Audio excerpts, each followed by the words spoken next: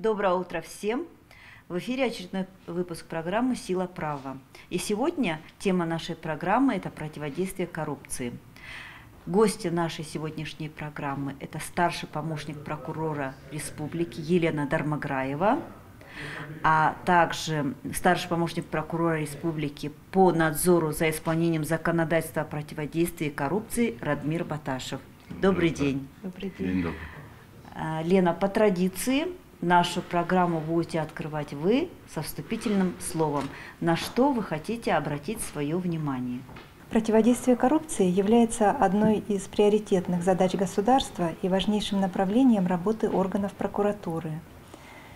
Правовую основу этой деятельности составляет Федеральный закон о противодействии коррупции. В нем определены три главных направления – это предупреждение коррупции, борьба с ней и ликвидация последствий коррупционных правонарушений. Хотелось бы отметить, что первостепенную важность в сфере борьбы с коррупцией имеет повышение правовой культуры и правосознания граждан. И органами прокуратуры республики проводится системная профилактическая работа в данном направлении. Широко используется потенциал средств массовой информации при проведении данной разъяснительной работы в телевизионных эфирах, в эфире радио. Также на страницах местных печатных изданий зрительской аудитории разъясняются нормы антикоррупционного законодательства и обязательно установленная законом ответственность за их нарушение. Прокурорами регулярно проводятся мероприятия в формате круглых столов, на которых обсуждаются вопросы применения норм законодательства о противодействии коррупции. И на такие мероприятия мы приглашаем представителей общественности и республиканских средств массовой информации. Для формирования и развития антикоррупционного мировоззрения граждан прокуроры на системной основе участвуют в просветительских мероприятиях данной направленности с государственными и муниципальными служащими, с учащимися образовательных организаций. И сегодня мы поговорим об основных итогах работы надзорного ведомства, направленной на выявление и пресечение нарушений антикоррупционного законодательства, и вашему вниманию будут представлены примеры по искоренению коррупционных проявлений. Я хочу вас спросить, вот в преддверии Дня борьбы с коррупцией, этот день отмечается обычно в начале декабря. Хочу у вас спросить, а, какие итоги работы органов прокуратуры республики по противодействию коррупции вот за прошедшие месяцы этого года? Добрый день. Замечательно, что сегодняшнее наше мероприятие проходит в преддверии Дня борьбы с коррупцией. Хотел бы напомнить телезрителям, что в 2003 году Российская Федерация подписала Конвенцию о противодействии коррупции Безусловно, центральное место по надзору за исполнением законодательства противодействия коррупции отведено и органам прокуратуры.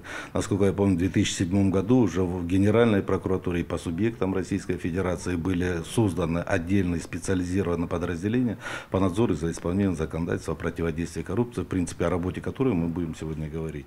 Что касается итогов работы органов прокуратуры за истекший период, хотелось бы отметить, что во исполнении национального плана, национальной стратегии противодействия коррупции, приказов и распоряжений генерального прокурора, прокурора республики, органами прокуратуры проводится целенаправленная работа противодействия коррупции. Безусловно, принятые меры дали определенные результаты, и вот за истекший период выявлено всего, хотелось бы отметить, две с половиной тысячи нарушений антикоррупционного законодательства, в целях устранения которых э, внесено 460 представлений по результатам результатом рассмотрения части которых 410 должностных лиц привлечены к дисциплинарной и административной ответственности. Внесено, принесено более 500 протестов на правовые акты органов государственной власти, муниципалитетов, 48 заявлений направлено в суды республики, 64 должностных лица привлечены к административной ответственности. Из общего количества выявленных нарушений, хотелось бы отметить, это где-то 150, свыше 150 нарушений, это при осуществлении государственной службы выявлено, и где-то 1500 при осуществлении муниципальной службы. Также хочу сказать, сказать, что увеличилось количество выявленных нарушений антикоррупционного законодательства, безусловно, и повысилось количество принятых мер прокурорского реагирования. Основная масса нарушений, выявленных нарушений, касается несоблюдения должностными лицами обязанностей, запретов, ограничений.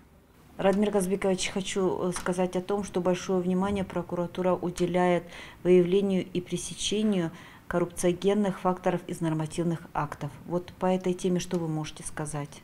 Знаете, эм, отвечая на данный вопрос, мне бы хотелось бы пояснить нашим телезрителям, что такое вообще коррупциогенный фактор. Ну, давайте применительно смодулируем такую ситуацию, когда гражданину необходимо, скажем, в администрации муниципального района или городского поселения необходимо получить тот или иной документ, ну, скажем, э, разрешение на строительство или ввод в эксплуатацию. И вот принимается нормативно-правовой акт, который для граждан создает определенные искусственные административные барьеры, то есть требует этот административный регламент, чтобы человек получил, гражданин получил справки, которые тождественно не относятся к предмету. И вот установление этих искусственных барьеров нужно определять как коррупциогенный фактор. Вот э, органами прокуратуры за истекший период проведена проверка, проведена проверка 1140 принятых нормативно-правовых актов как органами государственной власти, так и муниципалитетами, и свыше 1400 их проектов.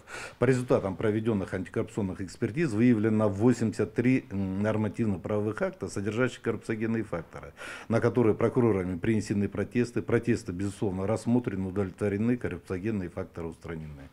Скажите, а как реализуются полномочия прокуроров по привлечению к административной ответственности за совершение коррупционных правонарушений?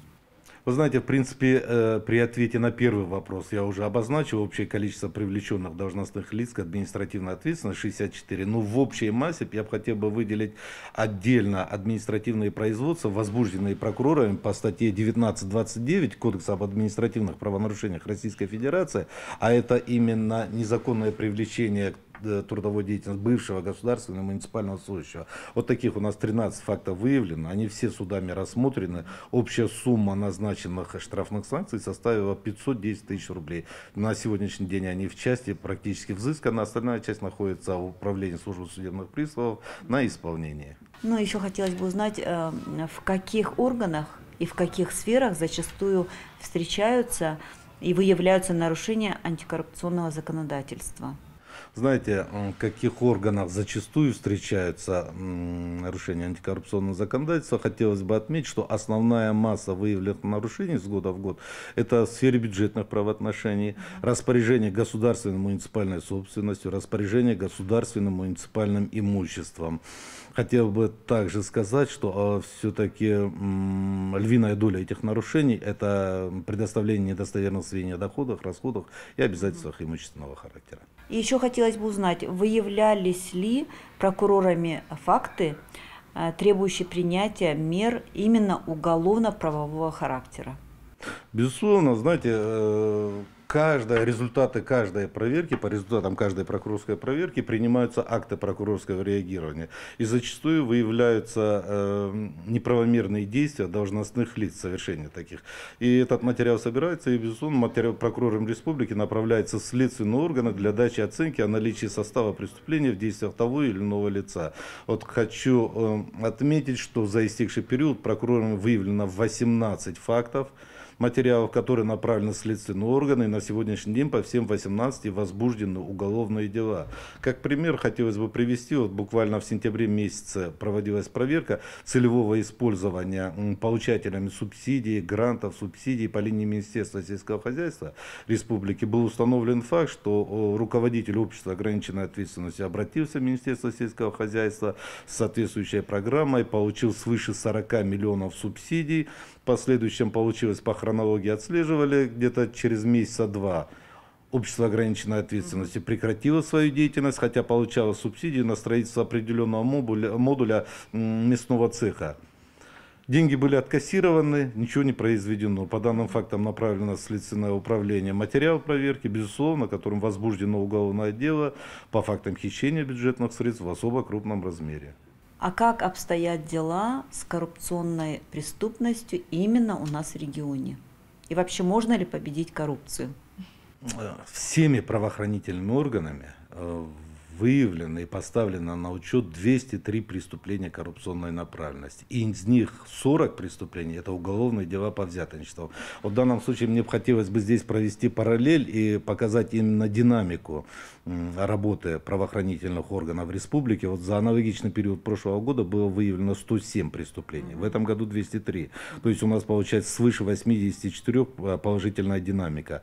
Что касается уголовных дел по взяточничеству, это у нас получается 11 нас было прошлый год, 40 в этом году. Это динамика практически плюс 100%. Безусловно, это говорит о том, что активизирована работа правоохранительным органам, на что отчасти повлияло и принятие прокурорами дополнительных мер координационного характера. И последний мой вопрос такой, Радмир Казбекович. Куда нашим гражданам, гражданам нашей республики можно обращаться с заявлением о нарушениях антикоррупционного законодательства?